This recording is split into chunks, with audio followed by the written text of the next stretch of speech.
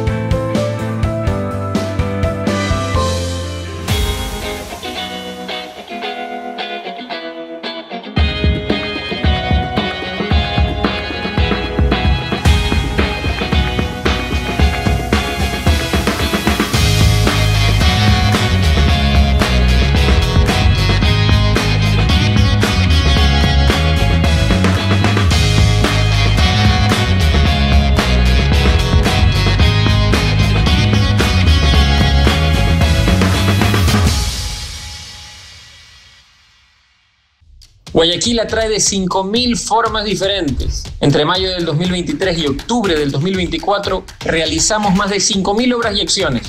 Eso significa más de 70 obras por semana, más de 9 cada día. Cada hora estamos transformando Guayaquil, por ti, por tu barrio, por tu ciudad. Esto es trabajo que se ve, se siente y te beneficia, porque la ciudad de todos se vive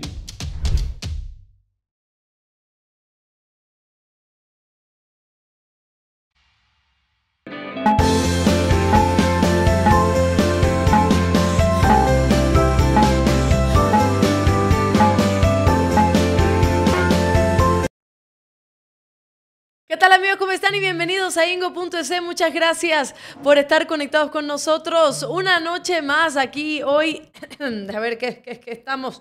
Miércoles 4 de diciembre y estamos junto a ustedes agradeciéndoles que estén conectados, que además se suscriban porque estamos creciendo mucho, mucho, mucho más. Siempre hago un recuento de cuántos seguidores y cuántos suscriptores vamos teniendo poco a poco. De hecho, de hecho, ya somos 172 mil eh, suscriptores, así que felicidades a todo el equipo maravilloso de Ingo.es y ustedes también porque son parte de esta familia, porque ya somos 172 mil suscriptores. Gracias a todas las personas que están viendo los videos que estamos haciendo para ustedes, algunos nuevos, otros ahí editados para que lo puedan observar, para que estén eh, ustedes pendientes de toda la situación.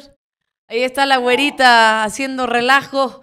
Así que un saludo también para la güera. Recuerden que están las membresías también, las que pueden ser parte de ustedes, porque nos pueden apoyar mensualmente para poder tener estos ingresos que nos permita seguir creando contenido, haciendo nuevos programas, invitando a más personas. Muchísimas gracias también por eso.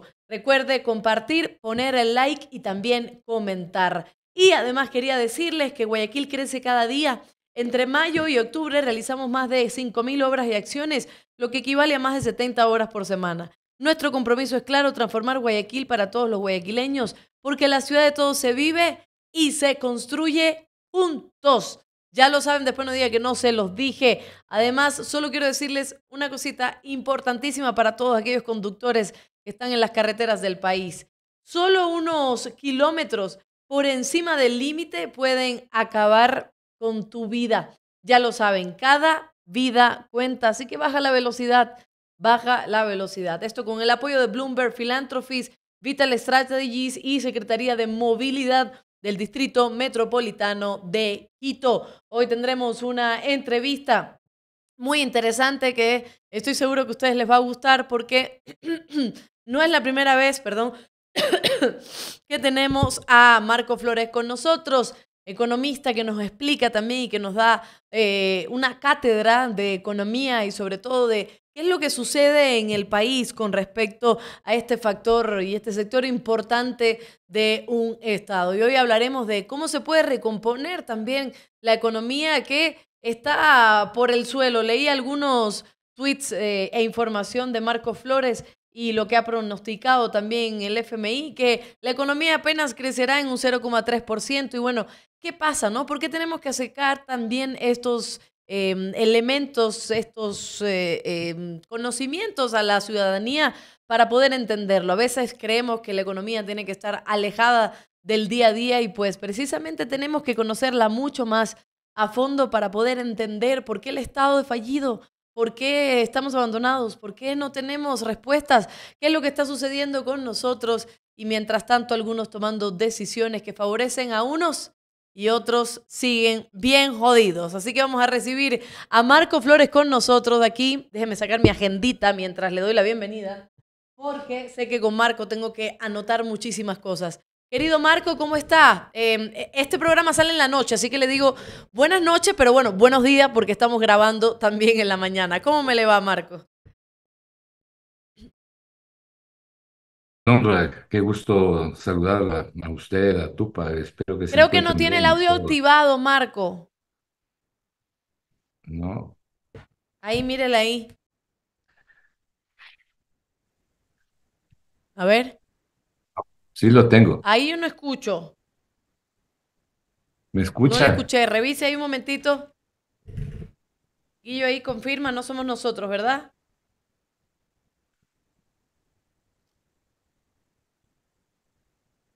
Yo sí te escucho a ti, Guillo, pero no a, Marco. ¿Aló? ¿Qué será? Pero sí. No, ahí no le escucho, Marquito. ¿Tú le escuchaste, Guillo, cuando se conectó? Por aquí, ¿me escuchan? ¿Aló? ¿Aló? ¿Me escucha? Yo no tengo audio. No, no soy yo, yo sí está mi audio Ahí fue, ahí salió. ahí salió, algo pasó. Algo pasó. ¿Cómo está Marco? Otra vez, repito. Marco, buenas noches porque tú sales las noches y buenos días porque lo estamos pregrabando. ¿Cómo me le va? Bien, Alondra, gracias. Qué gusto saludar a ustedes. Alex se encuentre bien, igual que tú, Y también la güera, que veo que anda siempre por ahí revoloteando. Eh, los mejores deseos para ustedes y que tengan muchas bendiciones. Aquí estoy a la orden.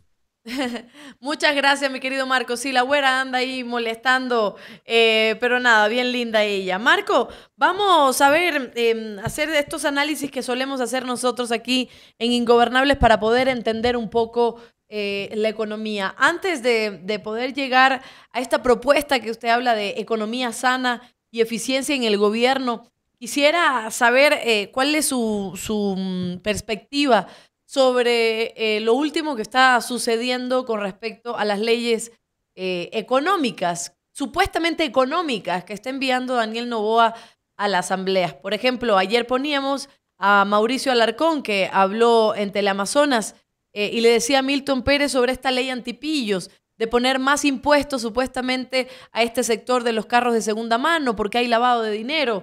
Y Mauricio le decía, pero no entendemos por qué si ya sabes que hay lavado de dinero, lo que tienes que hacer es, la justicia tiene que intervenir, no poner más impuestos. Muchos asambleístas, casi todas las bancadas, mencionando de que no querían más impuestos y más impuestos. Para poder entender un poco a qué se refiere esta ley y por qué la necesidad de poner más impuestos en vez de contrarrestar los problemas desde otra vía. Es que no hay ninguna necesidad de poner más impuestos porque la economía no resiste más y cuando hablo de la economía hablo de la gente, de las personas y de las empresas. Pero además mire usted la contradicción que hay. Por un lado, Novoa quiere eh, bajar, eliminar el impuesto a la salida de divisas. Por otro, el ministro de Finanzas quiere crear un nuevo impuesto, en este caso sobre todo a los vehículos de segunda mano, que quiere modificar los impuestos, ampliarlos, crear nuevos, en fin. Pero en todos los países del mundo, en unos más, en otros menos, habrá alguno por excepción donde no ocurra, se lava dinero. Y se lava el dinero en el sistema financiero, porque si no, no habría, no, no, no habría cómo lavarlo. Es decir, es en el sistema financiero de los países donde se lava el dinero. Y yo no tengo duda de que también eso ocurre en el Ecuador. Pero si la solución era subir impuestos, ya lo hubieran hecho otros países. Este es una, un enorme disparate desde el punto de vista conceptual y desde el punto de vista de la economía. Ventajosamente la Asamblea, hoy hay otro problema. La Asamblea eh, no solamente que negó el proyecto, sino que lo archivó porque tuvo los votos para archivarlo. Pero aparentemente por las informaciones que trae la prensa y las redes sociales, el gobierno intentaría desconocer esa resolución de la Asamblea. Ojalá no lo haga porque sería abiertamente inconstitucional y el Ecuador no necesita más problemas de los que ya tiene. Esa ley o ese proyecto de ley llamado antipillos, que son, mire, mire los nombres para denominar a las leyes, ¿no? sugiriendo que el, que el que está en contra de la ley es un pillo. Eh, bueno, ese, ese proyecto debe quedar sepultado. Lo que hay que preocuparse es de reconstruir la economía, sin duda alguna, y esa no es la forma de hacerlo. Eso es ir en una dirección contraria. Y, Marco, ¿cuál es la intención entonces del gobierno más allá de la narrativa antipillos y demás? Porque ya sabemos que no es combatir el lavado de activos. ¿Por qué quiere poner impuestos? ¿Quién se beneficia con estos impuestos? Ya lo vimos con lo del 15% del IVA, ya lo hemos visto con otras, con otras leyes. ¿cuál es la necesidad en este caso, en esta ley, de subir los impuestos? ¿Qué, qué soluciona esto? No, no, no, no hay una necesidad, es justamente al revés. Lo que hay que hacer es reducir los impuestos, pero además relocalizar los impuestos dentro del presupuesto del Estado para compensar los esfuerzos fiscales. Eh, lo que pasa es que no hay quien dirija la economía en el Ecuador. Eh, el, ministro de Finanzas de aquí no dirige nada y, y, yo dudo mucho que entienda realmente la problemática de la economía ecuatoriana a juzgar por las declaraciones que él hace, que dice que la economía está bien, que ahí están los números. Los números son una desgracia. No me llamaría la atención que tras de esto esté el Fondo Monetario, porque este es el tipo de cosas en las que se inscribe el Fondo Monetario, más bien dicho, que les gusta a los burócratas del Fondo Monetario que vienen en misión a los países. ¿Y por qué le digo esto? Mire, hay un discurso de la señora Cristalina Georgieva, varios discursos en realidad, la directora del Fondo Monetario, ahora que ha sido electa para un nuevo periodo, en donde ella exhorta a los gobiernos y exhorta a los bancos centrales a invertir en la gente, a dejar a un lado las, las políticas contractivas, es decir, a invertir, a hacer inversión pública. Y lo que está diciendo es correcto, es lo que se debe hacer, entre otras cosas. Pero resulta que sus funcionarios, es decir, los burócratas del fondo que vienen acá, la tal misión del fondo hace exactamente lo contrario de lo que dice ella. Entonces hay que darle sostenibilidad a las palabras ah, para que las palabras eh, eh, realmente sean corroboradas por los hechos. Eh, el, programa con el Fondo Monetario es totalmente destructivo para la economía ecuatoriana. y es destructivo porque se basa en una austeridad expansiva que en ninguna parte del mundo ha funcionado. Los principales premios Nobel de, Economía, como Joseph Stiglitz, Nobel 2001, como Angus Deaton, un brillante profesor de la Universidad de Princeton, profesor eh, en, Nobel de Economía 2015, han venido escribiendo abundantemente sobre lo destructiva que es la austeridad para ah, tratar de solucionar una crisis, porque lo único que hace es profundizar la crisis. Y le voy a, le voy a simplemente a dar una, una cifra.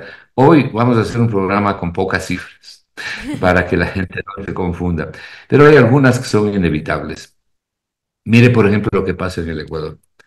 El Ecuador eh, tiene una deuda total, la deuda pública total al último corte eh, que publica el Ministerio de Finanzas es de 87 mil millones de dólares. 87 mil millones de dólares. Eso es 71% del PIB. Más que se ha duplicado en los últimos oh, siete años. Pero la economía no crece. Y no solo que no crece, sino que está decreciendo, se está contrayendo. Eh, no es lo mismo una recaudación tributaria con un PIB de 100 mil millones que con un PIB de 150 mil millones, que es donde debía haber estado el PIB. Usted recauda menos teniendo una base tributaria de 100 mil y una base tributaria de 150 mil. Recauda menos también el, no solo el SRI, sino también la seguridad, la seguridad social. Entonces, tiene que pagar capital e intereses. Y aquí un dato, sobre todo para el sector privado. El sector privado um, uh, debe, debe, debe mirar las cifras con un poco más de, más de cuidado. Este año, nosotros tenemos que pagar 8.800 millones de dólares en capital e intereses de la deuda pública solo a través del presupuesto general del Estado. Mm. Porque esa deuda que le acabo de señalar de 87 mil millones debe todo el sector público. Pero el 80% de esa deuda la debe el presupuesto del Estado, el gobierno central. Entonces, para poder atender el pago de capital e intereses, hay que dedicar 8.800 millones de un presupuesto de 36 mil millones, hay que dedicar a pagar el capital e intereses de la deuda. Esto es, hay que absorber el 25% del presupuesto del Estado solo para pagar el capital de intereses. Como la economía no crece a la ¿qué han hecho los gobiernos desde el año 2018 con Moreno? ¿Qué han hecho los gobiernos? Han destruido la inversión pública. Entonces, el dinero que debía haber ido a la inversión pública lo utilizan para el pago de la deuda. Por eso es que suman recursos en la Reserva Internacional para poder pagar la deuda. Porque estos gobiernos han puesto como prioridad número uno el pago de la deuda. Y esa es la prioridad número uno del Fondo Monetario. Además, el, fondo lo dice por escrito. Y siempre ha sido así el Fondo Monetario. Entonces, usted tiene un serio problema. Y Marco, esto, este mm, mensaje clarísimo del Fondo Monetario Internacional, la destrucción de la inversión pública, todas estas órdenes que vienen desde el FMI, también son parte de em, eh, por qué el gobierno de Daniel Novoa, por ejemplo, en este año no ha usado, alguien nos, nos decía hace poco, algún analista nos decía que no ha usado mm, casi ni el 50%, un poco menos del, del 60% del presupuesto del Estado, o sea, que no ha invertido en lo que tiene que invertir precisamente porque el FMI le dice, no, no lo hagas, mejor paga otras cosas y no inviertas en lo que se tiene que invertir. Por eso, por ejemplo, el otro día eh, un experto que también trabajó en ministerios de salud anteriores decía que no se había ni siquiera utilizado el presupuesto del Ministerio de Salud en un 50%. Entonces, ¿todo esto es parte de la orden del FMI? Bueno, en realidad no es una orden del FMI. Lo que pasa es que el Ecuador no tiene frente económico, no tiene quien defienda, no tiene nadie que se pare a negociar con el Fondo Monetario, como lo han hecho varios ministros de finanzas en el pasado. Entonces, lo que le dice el Fondo Monetario es, mire, usted tiene que pagar la deuda como prioridad. Además, lo pone por escrito, y está por escrito en el, acuerdo con el fondo. Pero no solo que tiene que pagar la deuda, sino que tiene que acumular reservas para poder pagar la deuda. Por otro lado, usted tiene que contraer fundamentalmente el gasto. ¿Y cuál es el gasto que se contrae? Con ese propósito, el gasto de inversión. Y como se contrae el gasto de inversión, usted tiene los servicios públicos destruidos, comenzando por los de salud, los de seguridad, los de educación. Entonces, eh, para cumplir con el objetivo de reducir el déficit, que es lo que propone el fondo, una reducción brutal, le, doy una cifra. En los primeros uh, uh, 10 meses del año pasado, 9 meses del año pasado, el déficit del presupuesto del Estado, no voy a entrar en la parte técnica, pero estaba alrededor de 2.800 millones de dólares, un poco más de 2.800 millones. En los mismos nueve meses de este año lo bajan a 300. Es una contracción de 2.500. Es una contracción brutal para una economía pobre en desarrollo, ¿no? que no se puede dar el lujo de querer eliminar el déficit en tan corto tiempo, pero es que además no lo van a eliminar, sino que lo van a esconder hasta diciembre y en enero comienza nuevamente la agonía. Entonces, para poder hacer eso, usted liquida la inversión pública. Para, para hacer eso, al liquidar la inversión pública, usted va a pagar la deuda. Entonces, esa plata va para el pago de la deuda. ¿Y cuánto es el pago de la deuda? Lo que acabo de decir, 8.800 millones solo el presupuesto del Estado en este año. Y en lo que va del año, porque la, la, publicación del Ministerio de Finanzas, la última de la deuda es de septiembre, en lo que va del año ya se han pagado más de 7.500 millones. Entonces, el problema de la deuda es un desastre para el Ecuador, porque asfixia el presupuesto, asfixia la economía, y cuando le digo esto, asfixia a la gente, sobre todo a la gente más pobre y de menos recursos.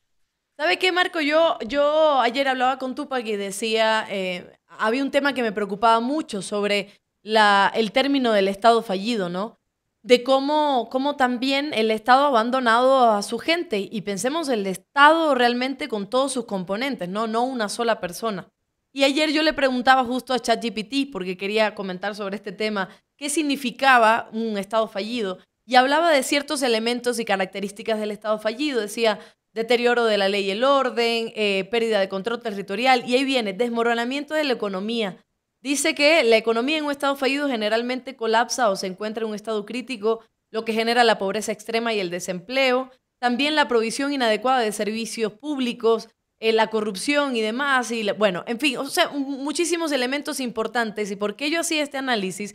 Porque estaba viendo un reportaje de que están pagando de entre 20 y 50 dólares eh, en un lugar que te tiene que proveer del pasaporte, te lo están pidiendo esta plata para poder sacarte o el turno o darte el pasaporte. Por otro lado, estoy viendo y hay experiencias que me están contando de que personas están siendo, eh, digamos, eh, ¿cómo decirlo? corrompidas de alguna forma porque la policía o los agentes de tránsito están que ahora, y diciembre, que es el mejor mes para ellos, pidiéndole plata a cualquier persona, amenazándolo de que se les lleve el carro, amenazándolo de que los papeles, en fin. O sea, todas estas cosas que son parte de este Estado fallido tienen mucho que ver con la inversión pública, tienen mucho que ver con la destrucción de la inversión pública, tienen mucho que ver con que la economía está destinada a otros puntos, más no al desarrollo de la población en estos términos que estoy mencionando. Yo creo que tiene mucho que ver con que la sociedad ecuatoriana, aunque no lo quiera, pero en la práctica está socapando el robo y está, está, sacando el engaño y la mentira. Eh, mire, yo desde hace algún tiempo dejé de hacer la reflexión que usted está haciendo ahora y más bien hago una reflexión diferente. Me pregunto qué funciona en el Ecuador. ¿Qué es, lo que funciona aquí? Mire lo que está pasando, las revelaciones que hay ahora, en estas mismas horas, sobre la Corte Nacional de Justicia, sobre las es decir, sobre la administración de justicia y el Estado de Derecho en el Ecuador. Los máximos organismos de administración de justicia desenvolviéndose en un pozo séptico, una cloaca de corrupción, de robo, de extorsión. Están saliendo los chats, las declaraciones de los testigos en los casos que ahora mismo se están desenvolviendo. Claro, yo no, yo no puedo hacer una generalización de todos y decir que todos son así. Pero el sistema está podrido, el sistema está corrupto. Hay, sin duda, gente honorable en todo lado. Hasta en los burdeles hay gente honorable. Pero eh, desgraciadamente, pero desgraciadamente, porque en los burdeles lo que hay es una enorme pobreza sobre todo, ¿no? Ah, pero lo que estamos viendo en el Ecuador es una descomposición total. Lo que usted ha dicho, un Estado fallido.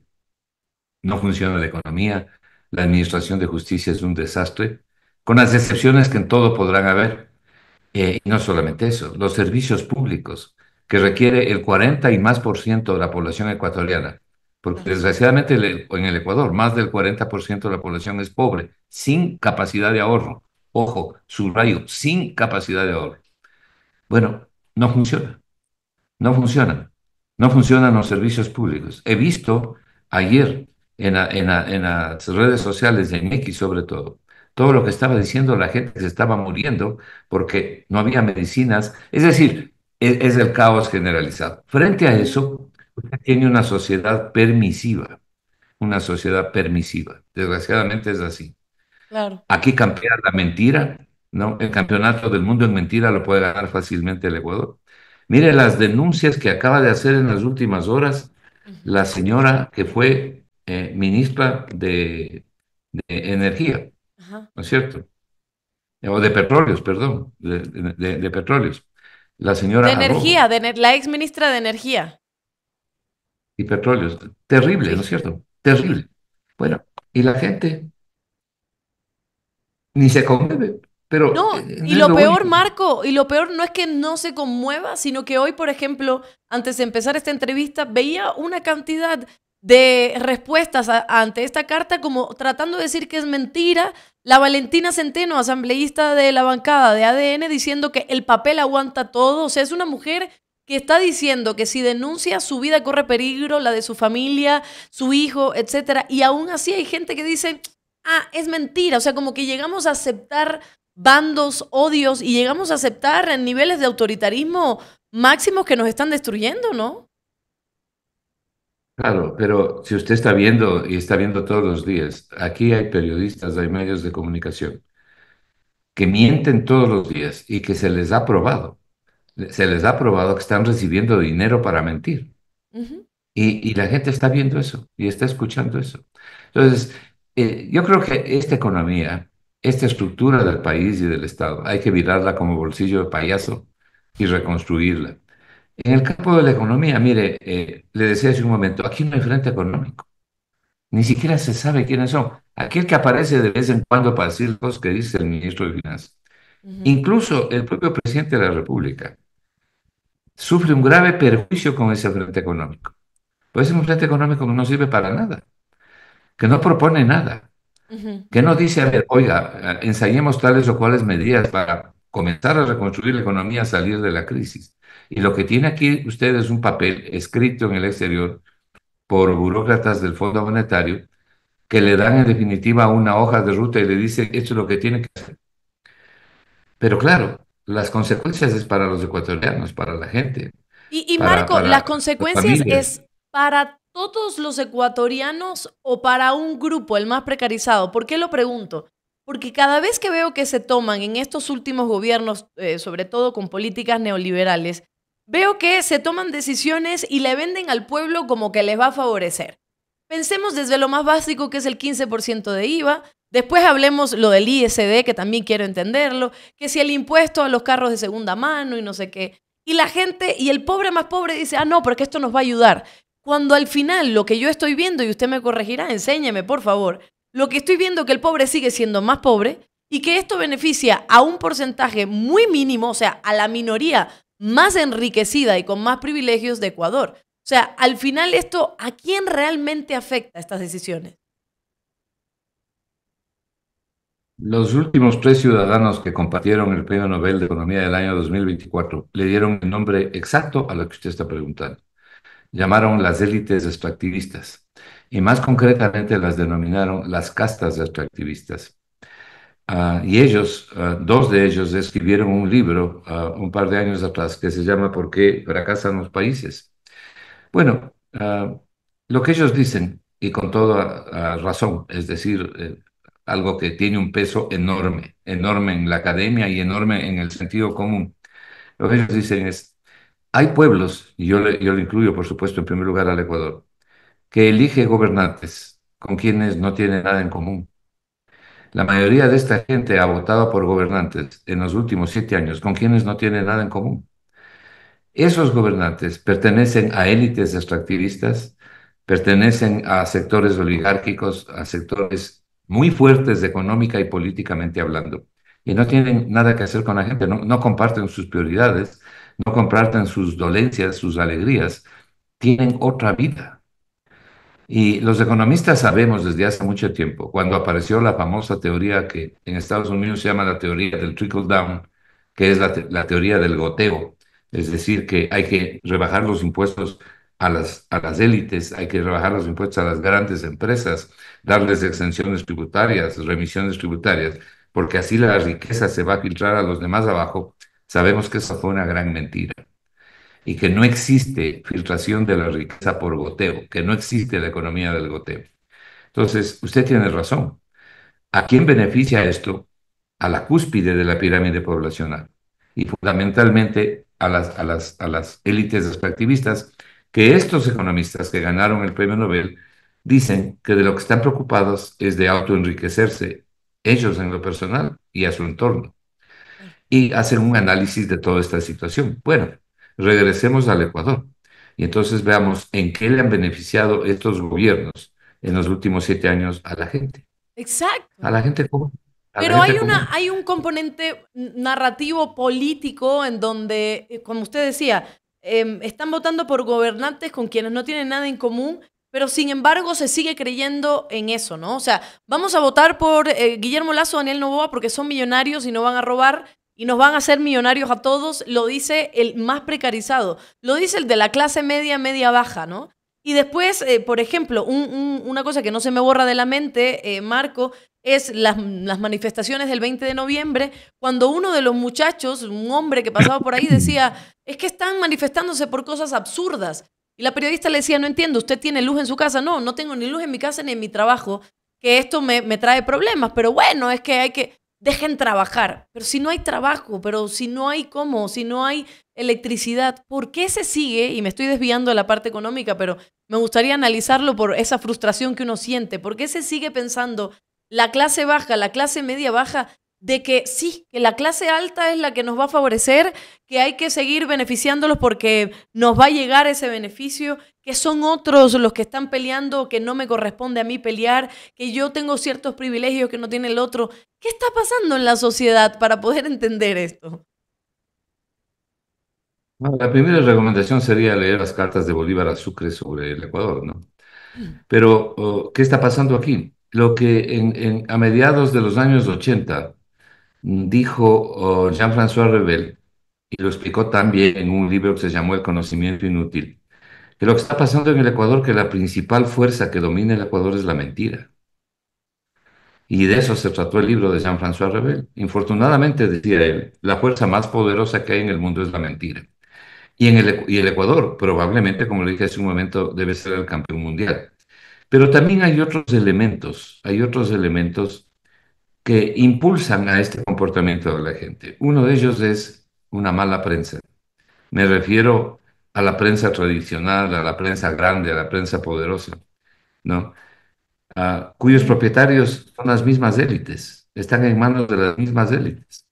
Y entonces esa prensa difunde mensajes como los que usted acaba de señalar, y la gente que o ve eso o ve el fútbol y no ve nada más, entonces se va convenciendo de sus propias mentiras. Y no solamente eso, sino que una de las expresiones más dramáticas y más tristes de la pobreza, porque la pobreza no, no es solamente no tener el dinero para tener una, una vida medianamente adecuada. Esa es pobreza monetaria. Pero la pobreza tiene varias ramificaciones. Una de esas es no poderse curar y es no poderse educar. Entonces, cuando usted tiene un pueblo que no ha tenido la oportunidad de educarse, es capaz de decir o hacer cualquier estupidez. Y lo digo con respeto, pero también con dolor, porque muchas de las decisiones que se han tomado en el Ecuador son abiertamente estúpidas. Y desgraciadamente, el Ecuador ha ido eligiendo a sus propios verdugos. Desgraciadamente es así. ¿Por qué? Porque tenemos un pueblo no educado, un pueblo que se convence. Eh, eh, ¿Qué pasaba cuando los españoles en la conquista Ah, se llevaban oro, se llevaban especies. ¿Qué les daban a los indios? Les cambiaban oro por espejos. Por, por lo menos esto dice la historia. Bueno, eh, hoy eh, los espejos han cambiado, ya no se da oro ah, por espejos, pero se hacen una gran cantidad de promesas que vienen siendo ah, los espejos de antes para extraer la riqueza de este país. Mire, estamos a pocas horas de que el gobierno entregue el campo Sacha, según he visto las publicaciones eh, que fueron presentadas ayer por diferentes medios en las redes sociales. Una cosa terrible porque Sacha es un campo que produce como 80 mil barriles de petróleo a un costo de producción por debajo de los 10 dólares, mientras las empresas extranjeras producen por sobre los 34 dólares. Pero además es un campo en producción, no es que hay que venir a buscar petróleo, se está produciendo.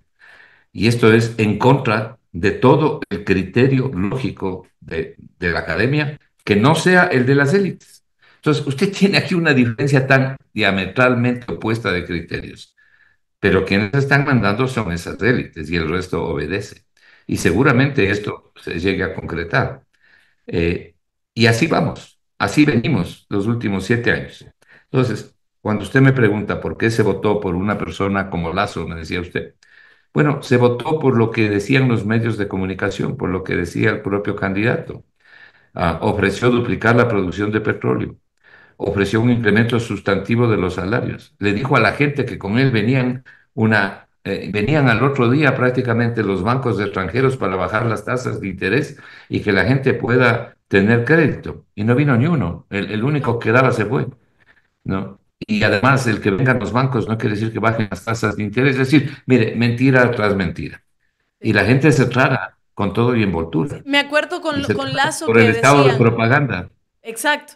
Decían, con Lazo decían, eh, atentos que ya viene Walmart, que ya viene todas estas empresas, ¿no? IKEA y que ya viene no sé qué, que ya viene y Ecuador y la gente, mira qué o sea, la gente que no tiene plata, Marcos, la gente que no que no le alcanza el sueldo básico y que probablemente no tenga el sueldo básico, eh, como felices porque, ay, viene IKEA o viene Walmart cuando no puedes comprar, o sea, no puedes comprar. Y aún así te venden, como usted dice, este estado de propaganda en donde, mira, si tenemos un Walmart, si tenemos un Starbucks, si tenemos esto, si tenemos Costco, pues probablemente seamos ya un país del primer mundo cuando lo que te están haciendo es ponerte más opciones para decirte, mira, tú ahí no llegas, llego yo, tú no.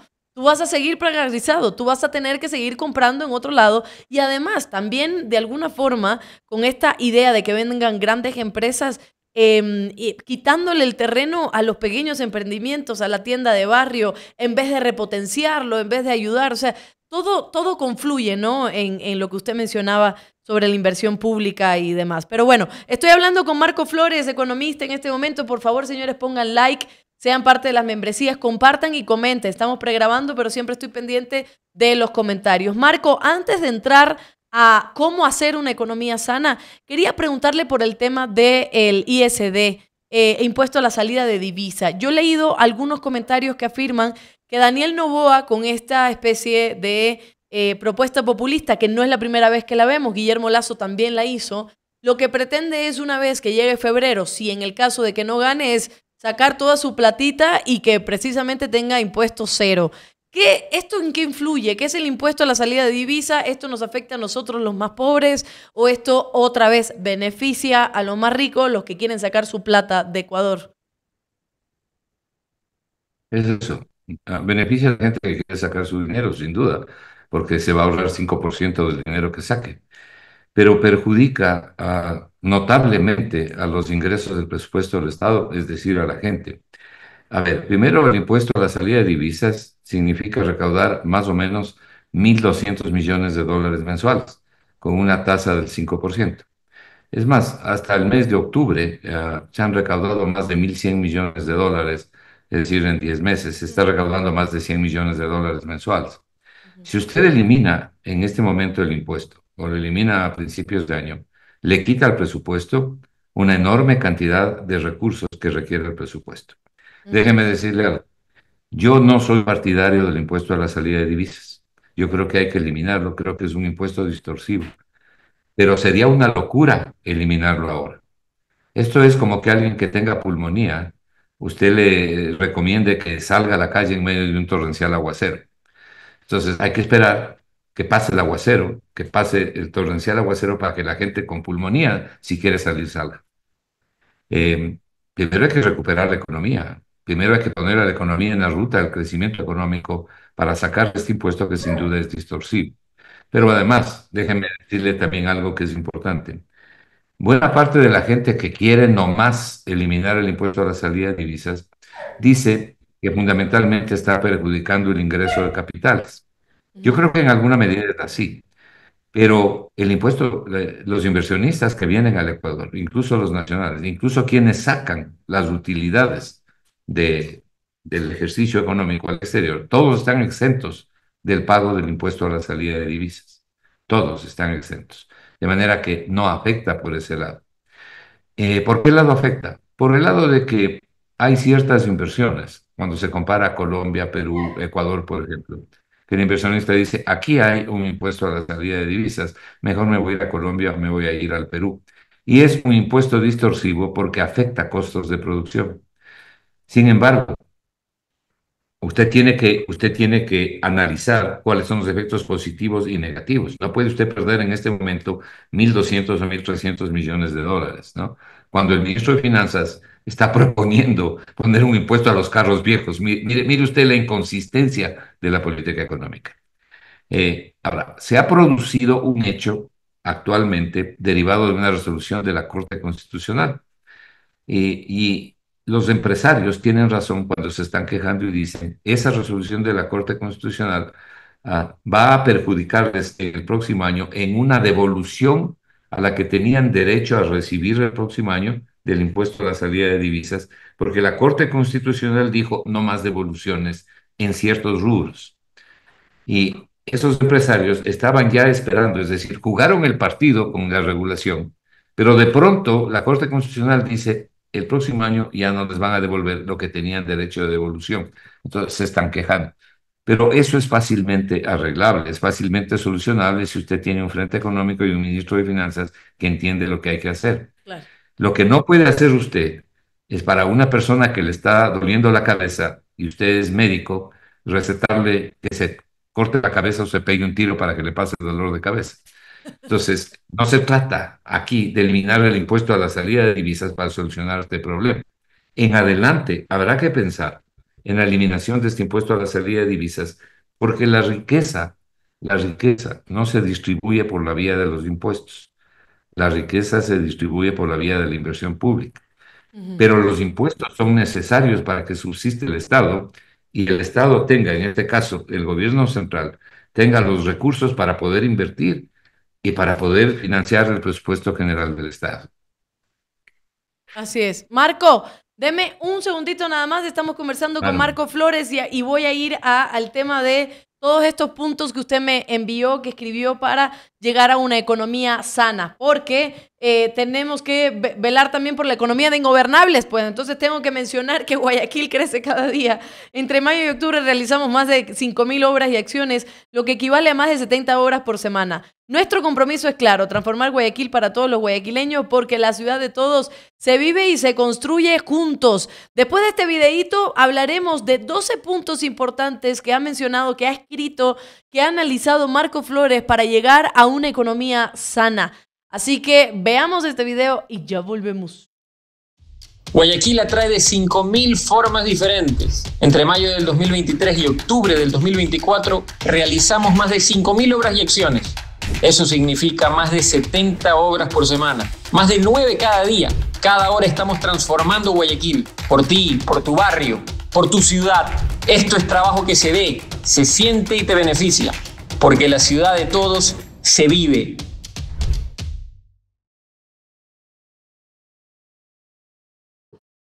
Ahí está la ciudad de todos, ya lo saben. Y pues seguimos con Marco Flores. Recuerden poner el like y ser parte de nuestras membresías. Además, unirse a nuestro canal de WhatsApp para que se entere cuando estamos en vivo, los nuevos videos, toda la información que tenemos para ustedes.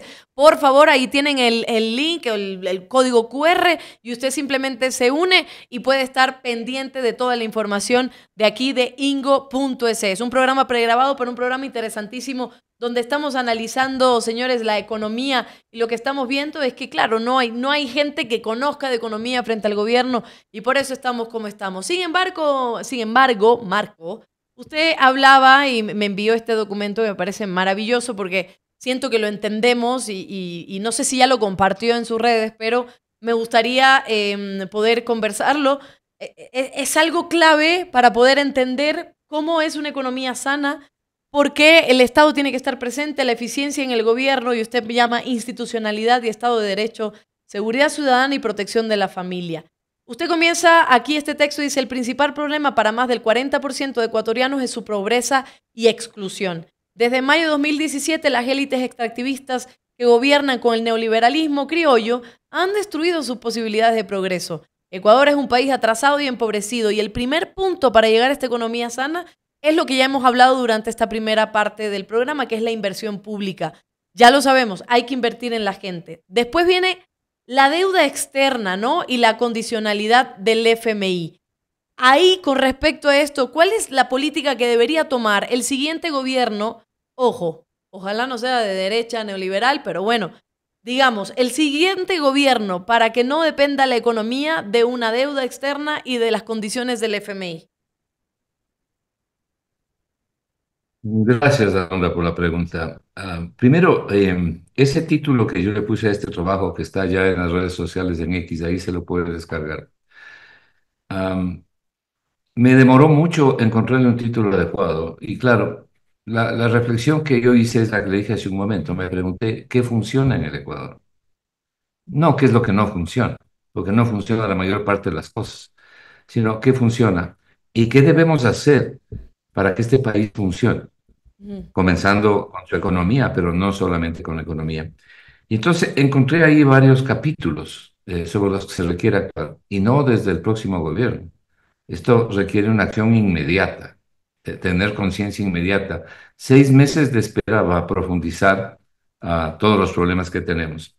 Por eso es que yo menciono, un bloque es la economía sana, el otro es la eficiencia del gobierno, es decir, trabajar en esas líneas, el otro es la institucionalidad y el Estado de Derecho, la seguridad ciudadana y la protección de la familia.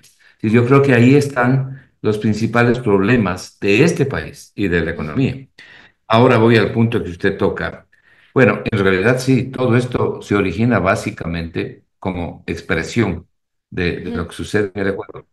En la pobreza del 40% de la población, repito, sin capacidad de ahorro.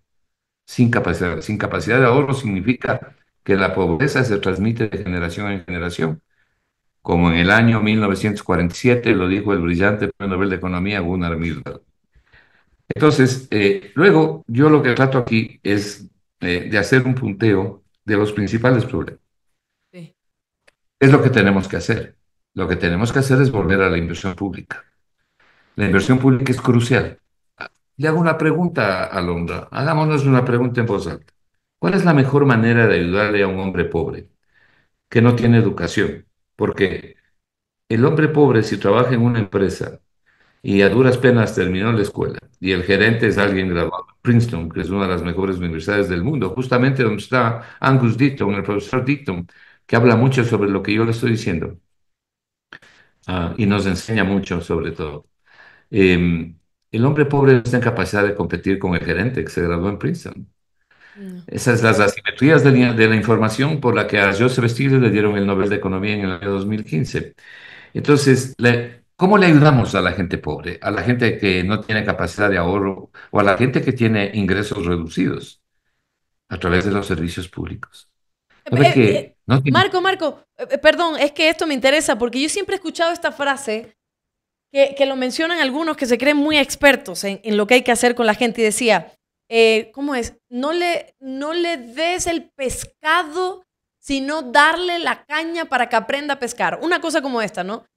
Que yo al principio decía, ah, bueno, sí, bueno, me imagino que hay que enseñarle a la gente, pero si no le estás dando la oportunidad de tener empleo, si no le estás dando salud, si no le estás dando educación, si no le estás dando inversión pública, ¿Cómo carajo con una caña vas a pescar en un río seco o en un mar totalmente seco? O sea, como que para mí ese es mi, mi concepto, pero no sé si estoy en lo correcto, ¿no?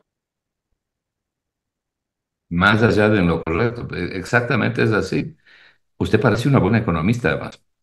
¿Cómo le vamos a enseñar, cómo le enseñamos a pescar si se está muriendo de hambre, si está enfermo?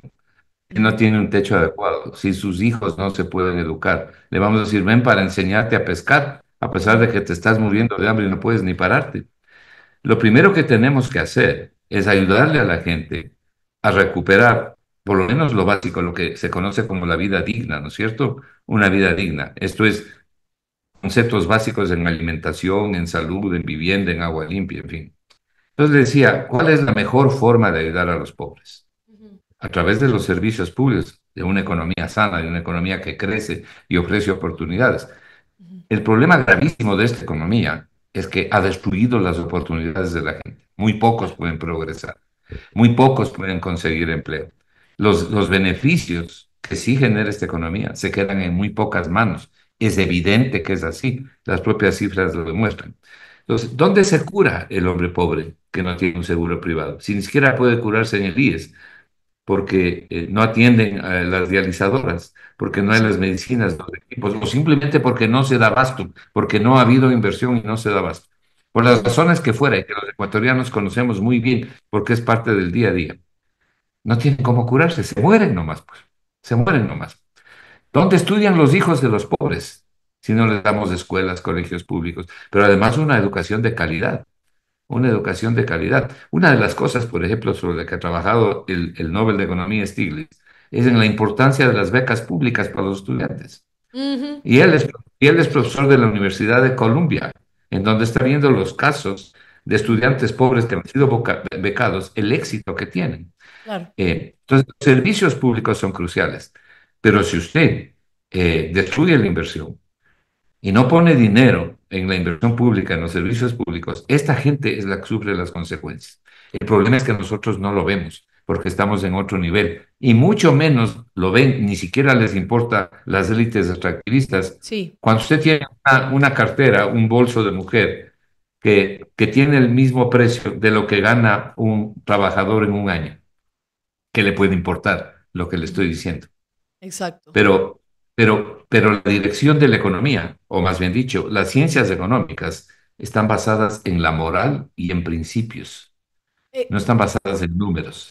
Es la moral y los principios básicos los que sostienen la economía. luego vienen los números del análisis económico, pero sobre una base de moral, de equidad y de justicia. Desde la época de Adam Smith, el que inventó, como se suele decir, la economía, con su famoso libro de los principios morales. Y, Marco, voy a poner en pantalla para ir avanzando, avanzando, los puntos porque me da miedo que se le vaya la corriente al horario estipulado y me está interesando muchísimo este tema. Voy a poner este documento, si me lo permite, por favor, para compartirlo también en pantalla. Eh, cuando hablábamos, por ejemplo, del punto 2 y 3, ahí está, lo estamos viendo en pantalla. Eh, el punto 2 y 3 de deuda externa y condicionalidad del FMI, ya lo habíamos hablado, pero quiero hacerle una pregunta.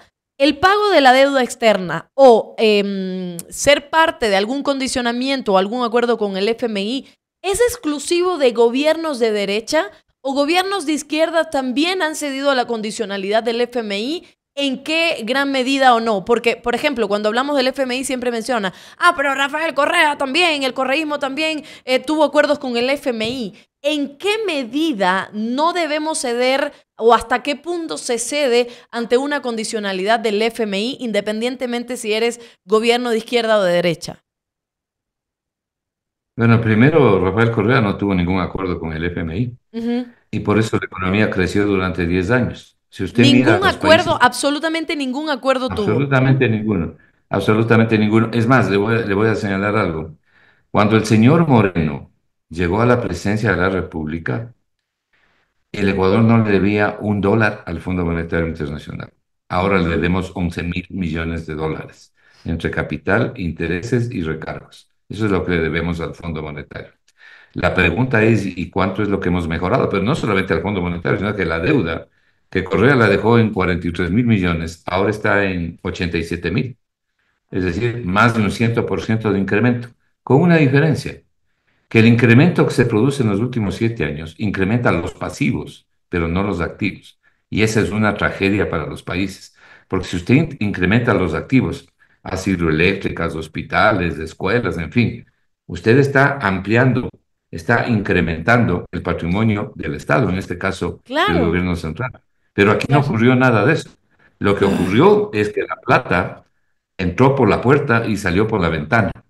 Pero los ecuatorianos nos quedamos con la deuda y por eso es que estamos pagando 87 mil millones de dólares, pagamos anualmente 8 mil 800 millones en capital e intereses. Ahora, los gobiernos, hay gobiernos inútiles de derecha y también gobiernos inútiles de izquierda. La izquierda no es una garantía de eficiencia, eh, ni mucho menos. Eh, por eso es que lo que yo siempre propongo es estar a favor de lo que funciona. Y yo me declaro un economista que está a favor de lo que funciona, pero lo que funciona para el bien común, pues, no, no lo que funciona para la gallada o para, para a sí mismo, para los mismos gobernantes, sino para que funciona para que usted mejore la calidad de vida, para que la gente mejore su calidad de vida. Y claro, depende, depende de la orientación que esos gobiernos quieran dar, pero es indudable que la vocación social evidentemente viene de la izquierda, no viene, no viene por lo menos de toda la derecha generalizada, aunque hay sectores de la derecha, hay sectores de la derecha que tienen criterios amplios y que tienen también vocación social. Yo conozco a algunos líderes que tienen vocación social y que pertenecen a la centro derecha. y, ahora, siguiendo, vamos a ponerlo, Guillo, de nuevo. El punto número cuatro dice, seguridad ciudadana. Sin seguridad ciudadana no existe economía sana y sin economía sana no hay seguridad ciudadana. Los dos están relacionados. Cuando hablamos de seguridad ciudadana, hablamos exclusivamente de, em, del, estar seguros como tal caminando en nuestras calles, de que no haya delincuencia o seguridad ciudadana también tiene que ver con la seguridad que nos puede proveer el Estado de poder acceder a un hospital y tener medicamentos, de poder ir a una escuela y tener los libros, de poder eh, tener unas carreteras sin huecos y demás. ¿Eso es eh, seguridad ciudadana? No, no, es lo primero que usted dijo. El que, el que tenga una calle sin huecos, el que pueda curarse, el que pueda educarse, significa buena economía, es decir, eficiencia del Estado. ¿verdad? Pero para eso requiere el primer punto que es inversión pública. Luego usted tiene en el, trabajo, yo menciono la deuda externa porque creo que hay algo que debería hacerse de inmediato. Mire, usted tiene que hablar con los acreedores. Primero, la deuda externa es más del 50% de toda la deuda total del Ecuador. Entonces, aquí hay que formar un grupo de expertos, de unos cuatro o cinco expertos del más alto nivel, que diseñen un plan de reestructuración de pasivos para generar un alivio financiero al presupuesto del Estado usted tiene que hablar con los tenedores de la deuda.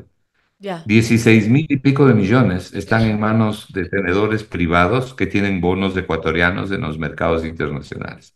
Hay como 8 mil millones que están en manos, que, es la deuda con los países amigos. Y el resto, fundamentalmente, está en los multilaterales, comenzando por el Fondo Monetario Internacional, al que le debemos 11 mil. Tenemos que hablar con esa gente para decirles, miren señores, no es que no queremos pagar, sino que al paso que vamos, vamos a caer en una moratoria obligada de la deuda. Y no queremos la moratoria porque nada bueno le trae al país, pero necesitamos la ayuda de ustedes. Por ejemplo, lo mismo que hizo Argentina.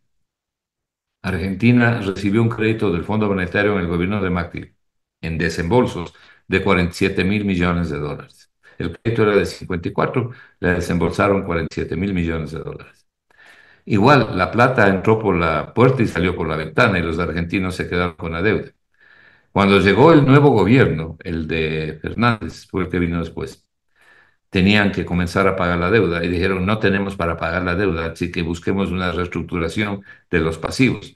Pero los multilaterales, por su propio convenio constitutivo, no le pueden reestructurar la deuda. Mm. Su convenio constitutivo les prohíbe. Entonces, ¿Qué es lo que se hace en estos casos y qué es lo que hizo Argentina? El ministro Guzmán de la época se pasó dos años en este trabajo. Por eso es que el Ecuador tiene que comenzar ahora. Y lo que el Fondo Monetario hizo es que le dio un nuevo crédito para que le pague al propio fondo con el crédito del fondo. Entonces le dijeron, ok, les vamos a dar un nuevo crédito de 47 mil millones y con esa plata me pagan a mí mismo. Pero... Claro, la, diferencia fue que eso permitió ampliar los plazos, o sea, prorrogar la deuda. ¿Qué es lo que hace el Ecuador con el Seguro Social aquí? Se cumplen bonos por 3 mil millones más o menos todos los años. Y entonces el ministro de Finanzas dice, le voy a pagar Seguro Social, deme los viejos bonos, tome nuevos bonos. Entonces lo que hay es un de pasivos, pero amplíe el plazo. Bueno, eso es lo que tenemos que hacer para recuperar la economía. Tenemos además que pedir una disminución de todo lo que se pueda del capital y una reducción de las tasas de interés. allá voy. Allá voy, allá voy, allá voy, Marco. Perdón que le interrumpa, perdón. Es que me, pongo ansiosa porque me da miedo que se le vaya la, luz. Vamos a poner de nuevo. El, el punto número 5, en relación a lo que usted estaba hablando, decía reforma tributaria. Y dice, para impulsar la demanda en forma inmediata, debe reducirse el IVA general al 12% y en pasajes, hoteles, restaurantes, eh, cafeterías y pequeños negocios de hasta 25 trabajadores al 10%. Ningún empresario productivo aumenta la producción ni contrata mano de obra si no hay a quien venderla, si no hay capacidad de demanda. Y además habla de algunos de, del IVA, es el impuesto más regresivo, etc.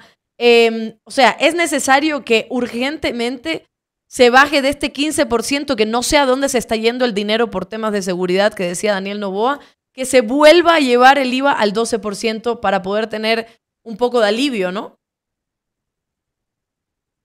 Sí, ok. Eh, eh, eh, quería simplemente concluirlo la deuda diciendo, ese comité de gestión, llamémoslo así, de gestión de los ecuatorianos, debe comenzar a viajar por el mundo a hablar con los acreedores. Si nosotros continuamos con el mismo nivel de pagos de la deuda que tenemos, tendremos una economía asfixiada, porque además la economía no está creciendo, sino retrocediendo. En, términos del Fondo Monetario Internacional, lo que yo menciono aquí, hay que sacarnos de encima la condicionalidad del Fondo Monetario. ¿Sabe lo que haría yo como ministro de Finanzas? Lo que ya una vez hice. o lo que hizo mi buen amigo Carlos Julio Manuel o mi buen amigo Pancho Suez cuando fueron ministros de Finanzas. Yo hablaría con fondo y le diría, muy bien, ustedes saben perfectamente bien cuál es la situación del Ecuador. Si ustedes quieren que yo haga una contracción tan brutal del gasto público, de la inversión pública, nos despedimos, que les vaya bonito. Quisiera trabajar con ustedes, pero no en estas condiciones. Yo prefiero hablar con el Fondo Monetario y no con los neoliberales criollos, porque los neoliberales criollos tienen intereses en conflicto y trabajan para sus jefes. Por lo menos con el Fondo Monetario le pueden decir sí o no, pero hay que hablar con el Fondo Monetario. Si el fondo no acepta, usted tiene que despedirse del Fondo Monetario, por lo menos en este programa, porque no puede seguir liquidando la economía. Es decir, usted no, hay que poner a la gente por encima del capital, pero de verdad. No, puede poner la carreta delante de los caballos, ¿no? Eh, hay factores que no son puramente económicos, pero que afectan gravemente a la economía y la afectan negativamente o positivamente. La, usted mencionaba la seguridad ciudadana. Claro, es obvio, si la gente no puede salir a la calle, si a la gente le roban, le matan, quiebran los negocios o no abren los negocios, nadie contrata más eh, trabajadores. Por eso hablo yo de que este es un elemento sustantivo de un programa económico, la seguridad ciudadana, ¿verdad? Y ahí hay que rodearse de gente especializada nacional e internacional. Pero además, la seguridad o la inseguridad ciudadana está estrechamente ligada con la mala economía. Usted no puede tener buena economía sin seguridad ciudadana, ni puede tener seguridad ciudadana sin buena economía. Las dos cosas están íntimamente relacionadas. Hay que meter plata en seguridad ciudadana y para eso necesita invertir y no destruir la inversión pública. Ok, yendo hacia vuelo de pájaro. Vamos a la, a la parte de la reforma tributaria que usted toma. Mire, yo lo que he tratado aquí es de evitarles el costo el costo político a los candidatos a la presidencia de decir lo que yo estoy diciendo ahora. ¿Qué es lo que yo estoy proponiendo? Uno de, las, de, los crímenes desde el punto de vista de la teoría económica y de la política económica que han cometido los tres últimos gobiernos es anular la fuerza más importante que tiene toda economía. La fuerza más importante de toda economía es la demanda. Es la fuerza estabilizadora más grande que tiene una economía, es la demanda para poderle sacar del hueco, para poderle sacar del estancamiento, de la contracción. La demanda es la que ha sacado al mundo de las grandes depresiones. No me voy a alargar en esto, pero si alguien tiene curiosidad, que lea algo de la historia del pensamiento económico y que vaya a ver lo que pasó en la depresión de los años 30 y en la grave crisis del 2008 y 2009 de las hipotecas. Se puso dinero en la economía. Keynes decía, hay que contratar una cuadrilla que vaya abriendo huecos en la calle y otra cuadrilla que venga atrás tapando los huecos. Lo que estaba diciendo es que hay que meter dinero, dinero, inversión pública para reactivar la demanda, darle a usted capacidad de consumo. Entonces, el incremento de la demanda, primero, el incremento de la inversión pública va a favorecer el incremento de la demanda. Ahora bien, este gobierno subió el IVA en medio de la contracción económica, lo subió, a pesar de que el IVA es el impuesto al consumo, pero no es cualquier impuesto. El IVA es un impuesto absolutamente regresivo. Y la regresividad del IVA quiere decir que no discrimina del ingreso, porque igual paga el rico que paga el pobre. Tiene que pagar el mismo IVA. Por eso es regresivo. Y desde esa perspectiva, afecta mucho más a los pobres, a los que tienen menos recursos. Cuando usted baje el IVA, como dirían los gringos, by the same token, es decir, por la misma razón, cuando usted baje el IVA, a quienes más ayuda es a los que menos ingreso tienen. Entonces, ¿qué es lo que yo estoy proponiendo? Un impulso a la demanda, dejándole a la gente si usted le, baja los tres puntos del IVA, solamente si fueran los tres puntos, yo estoy proponiendo también un sector importante bajar al 10%. Si usted baja los tres puntos, usted le está dejando a la gente en el bolsillo 2.100 millones de dólares. Dígame una cosa, Londra, ¿quién sabe más lo que usted necesita en su casa? ¿El Estado o usted? Yo, pues. Usted sabe si tiene que comprar leche o tiene que comprar zapatos, ¿no es cierto? Usted sabe lo que necesita. Entonces, ¿por qué le quiere dar pensando a la gente? Deje los dos mil millones de dólares en el bolsillo de la gente para que la gente impulse su consumo, porque el consumo en el consumo en el Ecuador se contrae, cae drásticamente el consumo de las familias y también el consumo público. Cuando usted suma consumo público y consumo privado, tiene 80% del PIB. Tiene que bajar el impuesto al consumo para que el PIB crezca.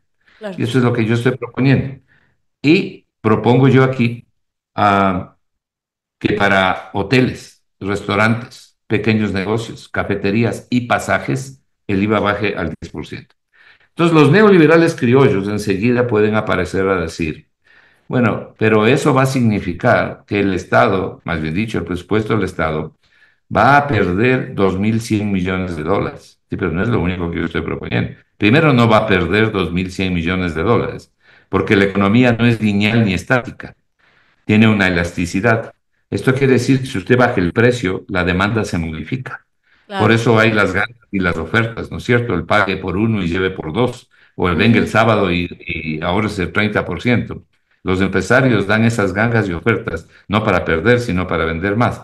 Si usted baja el costo del impuesto en definitiva, si usted baja el impuesto, que es el costo de la demanda, usted va a poder demandar más, va a poder comprar más. Entonces hay un efecto de recaudación ahí, además de que elimina uh, lo que ya le voy a decir inmediatamente, que es el contrabando. Entonces, sí, vamos a suponer que fuera lineal la economía y que fuera estática, que no lo es. Yo, yo creo que aquí se pueden recaudar 300 millones fácilmente por elasticidad de la demanda, pero supongamos que no lo recauda, que la economía es estática y es lineal. Ok, ¿cómo compenso yo el esfuerzo fiscal? ¿Cómo compenso esta plata que le estoy quitando al presupuesto del Estado para dejar en el bolsillo de la gente? Lo que yo propongo es algo que trato, como digo, de eliminar el costo político para los candidatos. Eh, no lo van a decir, por eso lo digo yo. Propongo la eliminación del costo de oportunidad en los subsidios, en, en, el, en los combustibles de producción nacional. Ahí no hay subsidio. Porque en español, porfa, Marco, ¿qué significa? Ok, explico. De todos los combustibles que se consumen en el Ecuador, el 65% es importado y el 35% es de producción nacional. Yeah. Los importados tienen un precio de venta inferior al costo de la importación, ese subsidio. Ah. No es enorme, como se dice, pero hay un subsidio dependiendo del precio del petróleo. Yeah. Pero ¿qué pasa en los nacionales? Los nacionales tienen un costo que es cinco veces menos que los importados. Entonces, en los nacionales no hay subsidio. Lo que tiene usted es un costo de oportunidad. El costo de oportunidad es una figura económica que si usted puede irse al cine o puede irse al fútbol y escoge irse al cine, ya no puede irse al fútbol porque es a la misma hora. O sea, el costo de oportunidad de, de un evento es del otro. O sea, aquí el costo de oportunidad de eh, los subsidios, no de los subsidios, sino de los combustibles nacionales, es el no poner un precio más alto. Entonces, lo que estoy diciendo en buen romance es, ponga el precio internacional para los combustibles nacionales e importados, con un único objetivo, que el Estado reciba plata pero compénsele a la gente. Claro. Que para la gente y sobre todo para los pobres sea mucho mejor negocio, les resulte mucho más beneficioso que le bajen el impuesto a que le mantengan un precio a los combustibles eh, eh, que genera problemas serios en la economía. Entonces, cuando usted hace los números, las sumas y las restas, la gente tiene mayores beneficios eliminando el subsidio, pero devolviéndole la plata por la reducción del IVA. Okay. ¿Me explico? Sí. Entonces, es buen negocio para la gente porque va a recibir dos mil millones de dólares al menos en su bolsillo. Y es buen negocio para el Estado porque echas las sumas y las restas, al Estado le va a quedar al menos mil millones de dólares netos, netos, luego de compensado el sacrificio fiscal. Usted elimina de raíz del contrabando, que no sabemos cuánto es, pero calculamos que debe estar cerca de los 300 millones de dólares. Usted va a tener ahí la eliminación de estas focalizaciones que está haciendo con los taxistas y determinados transportistas, se va a ahorrar eso el Estado, pero además, pero además va a impulsar la economía porque va a impulsar el consumo, va a impulsar la demanda para poder salir del hueco. Entonces, yeah. esta es una medida central de la reforma tributaria que yo estoy proponiendo. No es la única cosa que propongo, pero sí es lo central. Perfecto. Y luego, uh -huh. bueno, sí, otros puntos, pero ok, dígame algo. Sí, o sea, porque eh, para ir también resumiendo un poco, esto lo podemos encontrar en, en, su cuenta de X también para que la gente pueda verlo y poder analizarlo también. Solo que lo que pasa es que como usted me decía que probablemente a las 11 de la mañana se le va la corriente, quería preguntarle el punto número eh, No, no, 11. siga nomás. Tomé ¿Sí? la seguridad del caso. Ya, ah, perfecto. Ok, sigamos. Yo me tenía estresada, pues Marco, tiene que decirme. Y yo así como, ¿y ahora cómo, cómo, cómo analizamos los otros puntos? Marco, eh, me voy a saltar, me voy a saltar y usted eh, eh, podrá después regresar, pero el punto número 11 me resulta también interesante. Dice, respeto al medio ambiente y a la vida en todas sus formas. No hay vida sana sin planeta sano. El punto número 11. Creo que ese no te lo pasé, Guillo. Ese no está. Está hasta el punto número 10. El punto número 12 dice respeto al medio ambiente. Y yo ayer justo también tratando de encontrar lo que era el Estado fallido, lo que era el desarrollo y demás, preguntaba cuáles eran los países que tenían un Estado, un desarrollo em, y sobre todo que había el Estado presente, ¿no? Y mencionaba algunos países como em, Suecia, Noruega, Finlandia, Alemania, y en uno de ellos habla de Noruega, por ejemplo, la riqueza de los recursos naturales y el desarrollo sostenible. ¿Y qué tiene Noruega? Es pionero en políticas ambientales y sostenibilidad. Y usted pone en sus puntos el respeto al medio ambiente, cosa que en los últimos años hemos visto también muchísima polémica entre organizaciones medioambientales, entre la empresa privada, entre gobiernos, porque la gente como que le molesta cuando hablamos de medio ambiente. ¿Cómo es posible que el cuidado del medio ambiente de todas sus formas y la vida en todas sus formas esté conectado a una economía sana. Es fundamental, es fundamental, primero para eh, salvaguardar la vida y el planeta, ¿no? Pero ah, además porque eh, lo que yo estoy proponiendo ya no es solamente el cuidado del planeta, que es fundamental, sino el cuidado de la vida en todas sus formas y el cuidado de los alimentos el Estado tiene que tomar atención qué es lo que usted está consumiendo y qué es lo que le están vendiendo. Aquí se vende mucha porquería contaminada, llena de, fertilizantes químicos. Mm. Entonces, es necesario que el Estado en la nueva economía tenga los suficientes controles para saber cómo ocurre en todos estos países como Noruega. Noruega es el principal país del mundo en calidad de vida, ¿no? Es el número uno. Está más arriba que Suiza incluso, ¿no? Eh, Noruega tiene un nivel muy superior de paso el ingreso per cápita mínimo en 100 mil dólares, de los ecuatorianos 6 mil. Bueno, eh, entonces propongo el cuidado del planeta para poder cuidar la vida, la biodiversidad. Pues no tenemos otro planeta donde irnos, ¿no? Yo no sé si alguien más o menos ha contratado algún pasaje para ir a vivir en Marte, pero este es el planeta que tenemos. Entonces propongo el cuidado de las fuentes de agua. Yo estoy absolutamente en contra del extractivismo que contamina. Si bien estoy consciente de la necesidad que el Ecuador tiene de actividades extractivas, eso hay que irlo frenando como está haciendo Petro en Colombia. Pero usted no puede permitir actividades extractivas por dinero que puedan dejar, que contaminen, que dañen la vida de la gente y del planeta. Es decir, esa debe ser la condición para desarrollar actividades. Entonces, por eso incluyo yo, dentro de este punto, en el que usted ha mencionado, en el punto número 11, el respeto al medio ambiente y la vida en todas sus formas. Usted no puede hacer un programa económico sobre la base de destruir la naturaleza y de que le vendan basura contaminada. Eso no es programa, programa económico. Eh, recuerde usted una cosa, Alondra. ¿No se ha preguntado usted lo siguiente? Mire, antes, ¿quiénes eran los sabios de la tribu? Los sabios de la tribu eran los más viejos, a quienes se les venía a consultar porque eran los sabios. Ahora resulta que los más viejos tienen Alzheimer. Entonces ya no les consultan a los más viejos, por lo menos a muchos de ellos. La gente está enferma. Aunque viva más, pero está enferma, tiene varias calamidades. La calidad de vida no ha mejorado la calidad de vida. Y fundamentalmente se debe a la contaminación y a lo que comemos, al agua que bebemos, a, los recursos que estamos contaminando y destruyendo, a los ríos que están cargados de contaminación. Y, y, evidentemente a los daños que estamos causando en el medio ambiente. Por eso es un punto importante del, programa que yo propongo. Genial.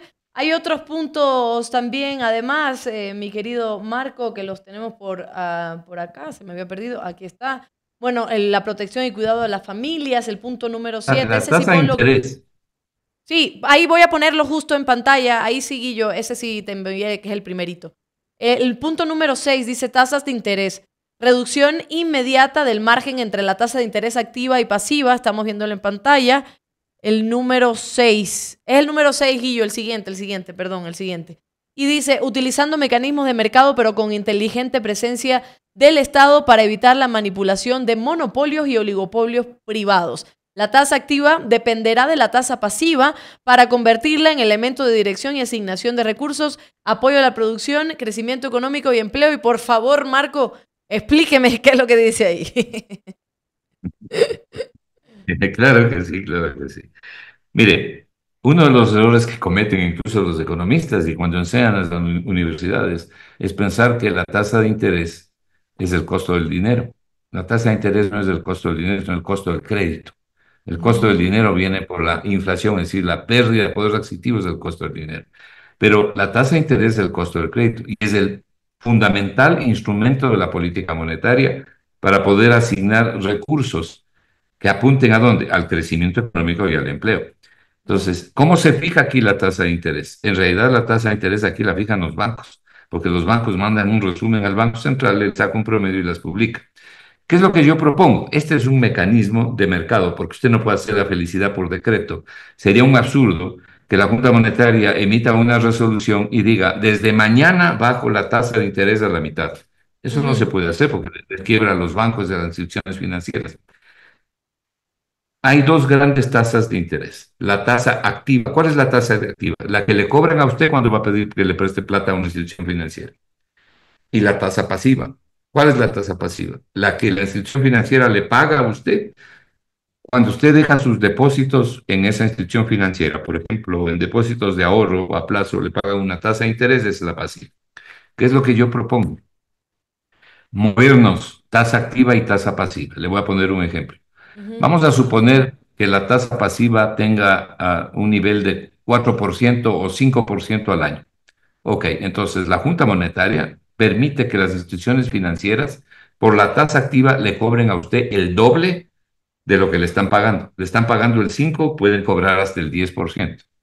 Ese margen que hay entre la activa y la pasiva es lo que sirve para dos cosas. Primero, para que las instituciones financieras eh, eh, eh, cubran sus costos de operación y tengan una razonable utilidad, porque ese es el negocio de las instituciones financieras. Pero hay una gran diferencia entre que a usted le paguen el 5% y le cobren el 20%. Entonces, aquí lo que estamos diciendo es, señores, ustedes van a cobrar hasta el doble de lo que ustedes están pagando. Entonces, las dos tasas se mueven o bajan en la misma dirección, pero están atadas, no están libres. Y es un ah, mecanismo de mercado. ¿no? Es un mecanismo de mercado. ¿Los bancos se pondrían a ello? Bueno, los bancos, las instituciones financieras no quieren reglas del juego, es decir, no quieren regulaciones, quieren la menor cantidad de regulaciones posibles. Pero para eso está la autoridad monetaria. No ve que esto no es la hacienda de nadie. Este es un país que debe orientar sus políticas hacia el bien común. El que no las oriente es otra cosa, pero el debe ser del país es del bien común el poder ayudar a la gente. Además, los bancos, instituciones financieras van a ganar dinero. Les está dando, en el ejemplo que yo doy, el 100% de diferencia, ¿no? Que es un margen lo bastante interesante. Aquí una salvedad. Yo escucho a veces a los candidatos a la presidencia que dicen, vamos a hacer que las instituciones financieras generen líneas de crédito para la microempresa a tasas bien bajas. Mire, esa es una utopía. Se lo puede hacer, pero nadie va a dar crédito. Y le voy a decir por qué. Porque son créditos pequeños. Por ejemplo, el carpintero que le va a pedir 500 dólares, o el zapatero que quiere 1000 dólares o 2000 dólares. No es negocio para una institución financiera. Esos créditos hay que darlos, pero hay que darlos a través de las agencias financieras públicas, poniendo dinero del Estado y también a través de la banca privada, pero con dinero del Estado. Usted, por ejemplo, abre un programa de 100 millones de dólares y les dice a los bancos, saben que esto es para la microempresa los que quieran participar aquí, la tasa de interés va a ser 3%. Ustedes, por su intermediación, van a ganar 2% o 1% y no van a cobrar más de 4%. Es decir, eso es política económica y en este caso política monetaria. Pero no existe, no existe. Mm. Eh, quienes están en la Junta Monetaria ah, son empleados de, determinadas, ah, de determinados sectores que no están buscando realmente el bien común. Y el bien común no es una declaración, el bien común son las acciones concretas para mejorar la vida de la gente. Así mismo es.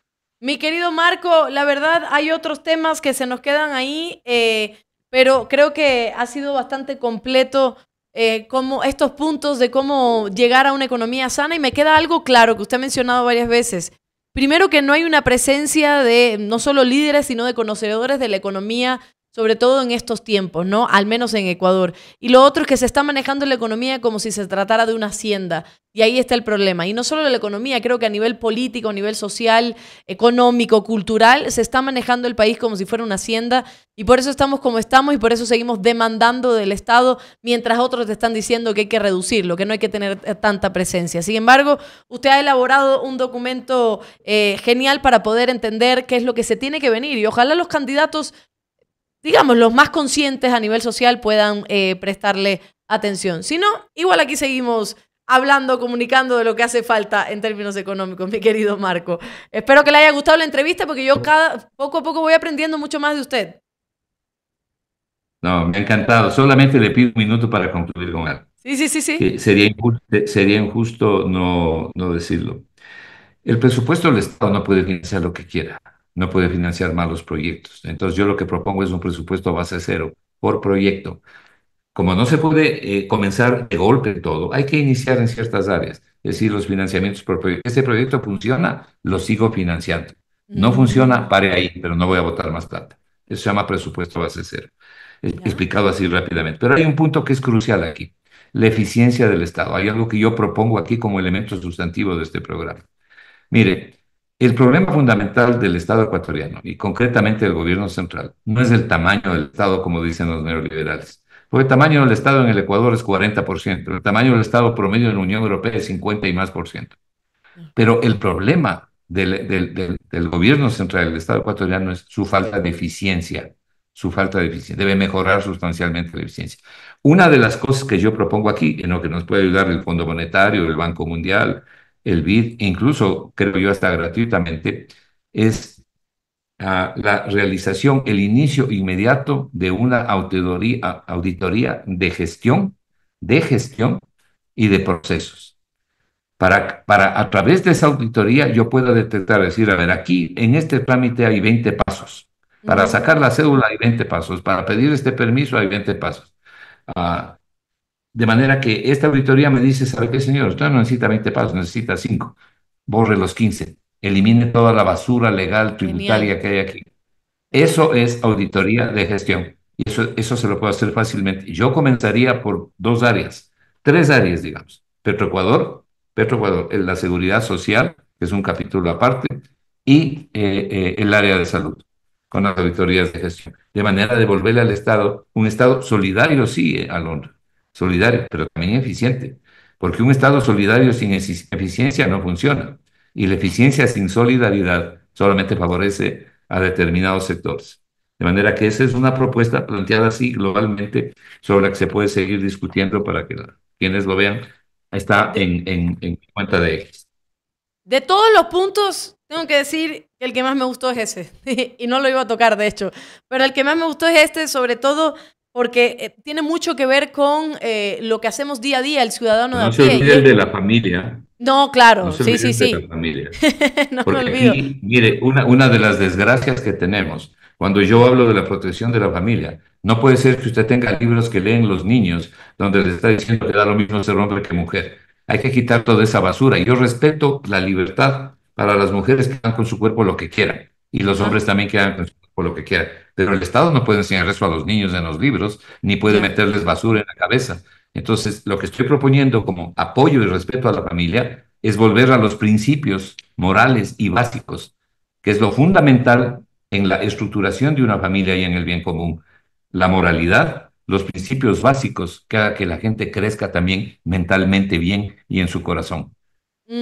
En esos temas igual tenemos que tener otro programa para poder discutirlo, pero lo que le mencionaba del presupuesto base cero, o lo que usted mencionaba, no yo, que yo no he mencionado nada, del presupuesto base cero, la eficiencia y la auditoría de gestión y procesos, me encantó, le decía, porque es algo que también nosotros los ciudadanos nos enfrentamos día a día. Pues, de hecho, empezamos la entrevista comentando acerca de pagar 50 dólares por una cédula o pagar 50 dólares por un pasaporte. Pero además, si no lo pagas, te dicen, uy, te vas a demorar todo el día, porque entonces tienes que llevar este papel, el otro te pide el otro papel, el otro te pide el otro. Y es como, si no está funcionando, agilítame las cosas para que también la calidad de vida mía sea mayormente óptima, porque si no, me paso el día haciendo trámites, me paso en la burocracia, me indigno, me esto, me pierdo el tiempo, pierdo dinero, pierdo lo demás y al final no se llega a, la economía sana como usted mencionaba. Así que, mi querido Marco, le agradezco un montón por todo este tiempo de cátedra que nos da también en términos económicos. Muchísimas gracias por estar en Ingobernables.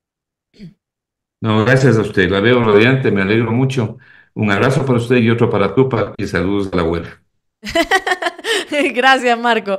Ahí le, daremos los saludos a la güera y al Tupac de Marco Flores y espero que a usted le haya gustado esta entrevista. A mí me gustó muchísimo, me gustó mucho porque punto por punto podemos ir analizando qué es lo que pasa en Ecuador y cuáles son las políticas de estos últimos gobiernos con respecto a la economía, ¿no? En el último punto sí, sí tenemos que, hablar eh, con respecto a esto porque tiene mucho que ver con progresismos y demás, pero bueno, digamos que eh, la familia también está a la base de la economía. Gracias a todos los que eh, han eh, compartido, los que han comentado, que probablemente estén comentando en este momento y aprendiendo eh, con Marco Flores. También los que han sido parte de las membresías, importantísimo, porque cada día crecemos, ya somos 172 mil suscriptores, aquellos que se suscriben, que es totalmente gratuito y que activan la campanita. De verdad, gracias por compartir y por darle cariño a este programa, eh, a este canal que trae para ustedes cada día nuevas cuestiones. Si aportaron el super chat, se lo agradezco infinitamente. Gracias por permitirme también pregrabar estos programas eh, y, algunos otros que vienen en esta semana. De hecho, mañana jueves también tenemos eh, programas pregrabados, probablemente también al mediodía, así que necesitamos hacer unas cuestiones personales aquí en México, pero no los voy a dejar sin programa y estoy pregrabando todo, créeme, haciendo el esfuerzo para que usted tenga toda la información, ¿sí? Así que, por favor, acolítenme ahí conectándose, poniendo like, compartiendo y siendo parte de esta programación que le traemos para ustedes en ingo.es y ahí están las membresías. Y nada, comentarles mientras pasan las membresías que, em, gracias, Estoy esperando que se acabe la membresía, pero un momentito porque tengo que decirles que Guayaquil crece cada día. Entre mayo y octubre realizamos más de 5.000 obras y acciones, lo que equivale a más de 70 horas por semana. Nuestro compromiso es claro, transformar Guayaquil para todos los guayaquileños porque la ciudad de todos se vive y se construye juntos. Y por otro lado, comentarles que solo unos kilómetros por encima del límite, señores, pueden acabar con tu vida. Cada vida cuenta. Baja la velocidad. Escúchame, baja la velocidad con el apoyo de Bloomberg, Philanthropies y Vital Strategies y Secretaría de Movilidad del Distrito Metropolitano de Quito. Ya lo sabe. Gracias por acompañarnos esta noche y nos vemos mañana a las 13 horas 30 para hablar de muchísimos temas de coyuntura y también a las 19 horas. No se lo pierdan, no se lo pierdan. Gracias a todos, nos vemos. Guayaquil atrae de 5.000 formas diferentes. Entre mayo del 2023 y octubre del 2024 realizamos más de 5.000 obras y acciones. Eso significa más de 70 obras por semana, más de 9 cada día. Cada hora estamos transformando Guayaquil, por ti, por tu barrio, por tu ciudad. Esto es trabajo que se ve, se siente y te beneficia, porque la ciudad de todos se vive